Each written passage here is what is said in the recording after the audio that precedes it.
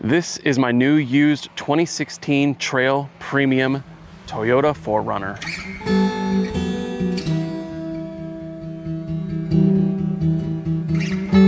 So this is gonna be my review. I've only had this vehicle now for, I wanna say a, a, about a month. I absolutely love it right off the bat.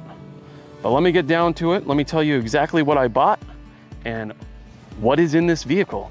I know you're not supposed to buy a modded vehicle. I got this at the low end of MSRP and it has at least, at least $30,000 worth of upgrades on this bad boy. Uh, it's just way too good of a deal to pass up. Now, I did make sure to look at everything and research what was in this vehicle. So one of the previous owners was part of the Overland Bound community.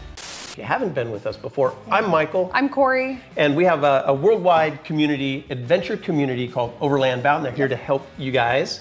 Yep. Yeah. And all of those, all of our members, all those people, we talk to them all the time. I'd love to get a hold of this person so I could talk to him about what they've done with this vehicle. Get on with it. Yes, get on with it. I have a CBI front and a CBI back steel bumper with the dual swing outs. On these dual swing outs, it also has dual tables. This is where I'm gonna be cooking my food. On the front bumper here, inside the bumper here, I have a Warn Zeon Platinum 10S winch. And I, I forget what this cover is called. I think the Sidewinder cover, basically to protect the winch when you're out there. It's got the Rigid Industries 30 inch E-Series amber white uh, light bar there in the front. It's got the Gobi roof rack with the removable sunroof insert. There is a Rigid Industries 40 inch E-Series flood spot combo with smoked covers on it. It also has the Rigid Industry chase lights. They are white and red. Uh, along with the Gobi roof rack, it came with the ladder. Let's talk suspension. It's got the Icon Vehicle Dynamics suspension in it. In the front, it's got 2.5 extended travel coilovers with remote reservoirs and CD CV 700 pound springs to compensate for the weight of the steel bumpers. Billet control arms with delta joints. In the rear, it has 2.5 inch shocks with remote reservoir right there. It also has three inch overland springs and an adjustable track bar.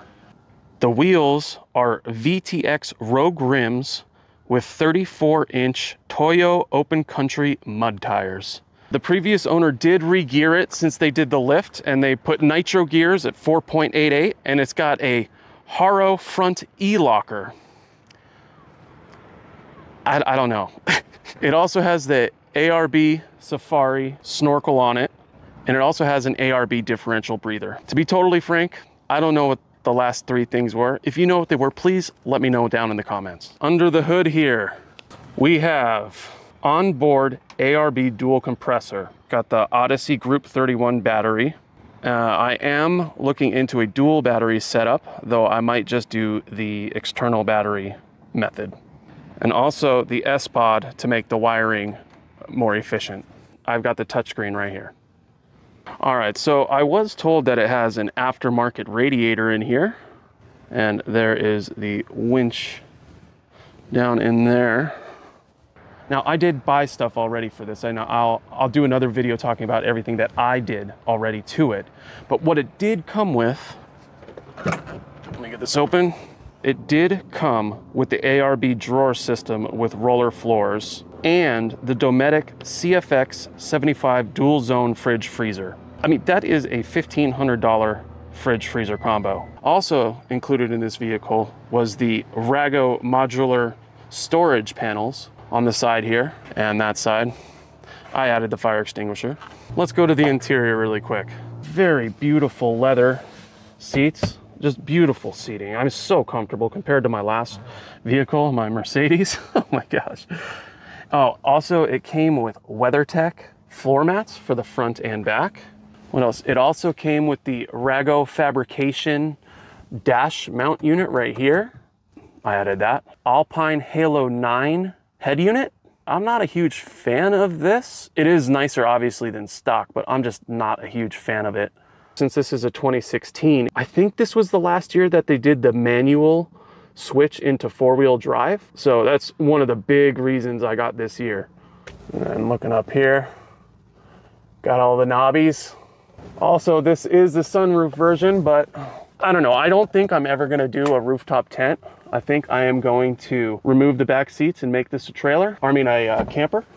All right, so how do I feel about this vehicle after having it for about 700 miles in about a month? I love it. I absolutely love this vehicle. Coming from a low riding vehicle, one that I can't even go on a dirt road on, to this raised, heavy, badass truck is a fantastic feeling, I gotta say. I'm looking down on everybody now when I'm driving around. I love that. That is super nice. I feel like I could run over anything and be okay. Yeah, look, Magellan, we're at the sprinkle here.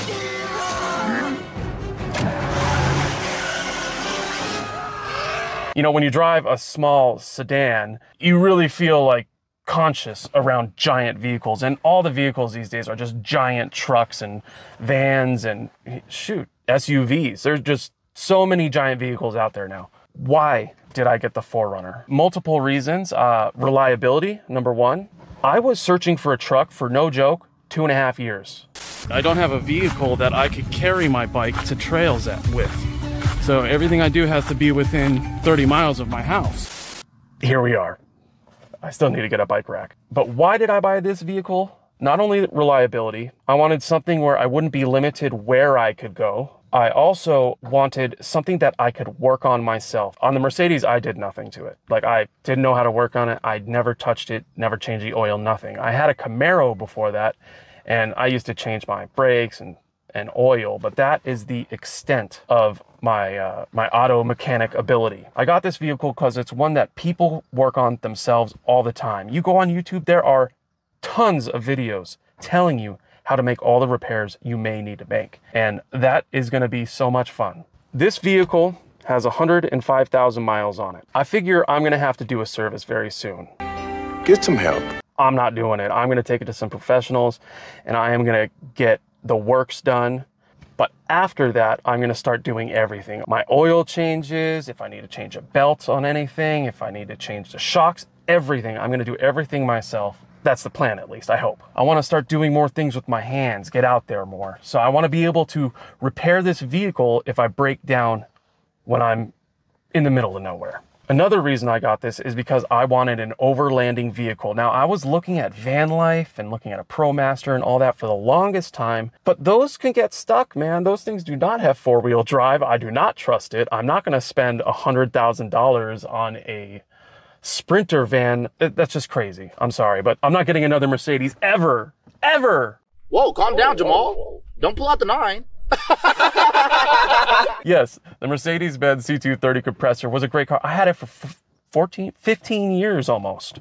Almost 15 years with my last vehicle. I couldn't work on the Mercedes-Benz and any repair on that thing was ridiculous expensive. So I am looking forward to a more cost-effective vehicle where parts for this vehicle are so easy to find. So what are some of the cons? It was advertised 17 to 21 miles per gallon. I'm getting 12 to 13 miles per gallon. All right. Ouch, right? But I put 87 in this. Are you kidding me? I don't need that 91 like my Mercedes needed. Oh, no more 91 gas, all 87. Some other cons. Besides gas mileage?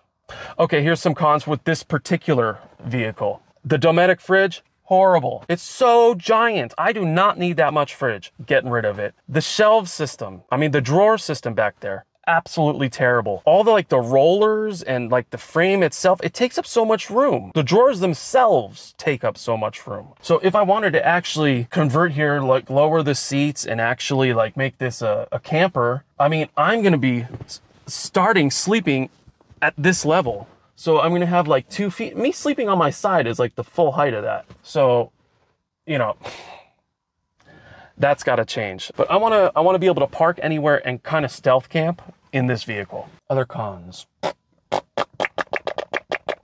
I mean, other than gas mileage, I don't think there are any cons. Any real cons. Every single review I've ever watched, and I've watched hundreds of videos about off-roading vehicles, about overlanding vehicles, about camper camping, like good camping vehicles, and the 4Runner was always number one. I've never been a car guy, okay?